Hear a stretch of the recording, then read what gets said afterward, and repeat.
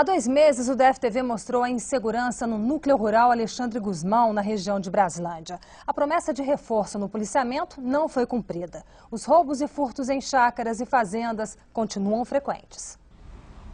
Foi há 15 dias. Cinco ladrões invadiram esta chácara no núcleo rural Alexandre Guzmão.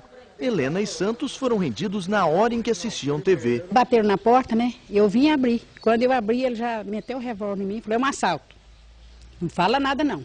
E já foi me empurrando para dentro.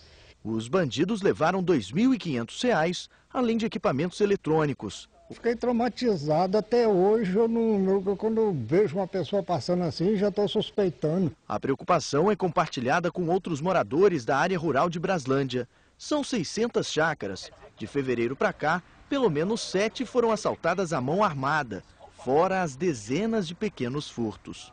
A partir da hora que começaram realmente é, assaltar as propriedades, inclusive bater nas pessoas e tudo, que foi o caso do último aqui. Então é um negócio muito sério. Então nós realmente precisamos que olhem, as autoridades olhem para esse setor que está sendo esquecido.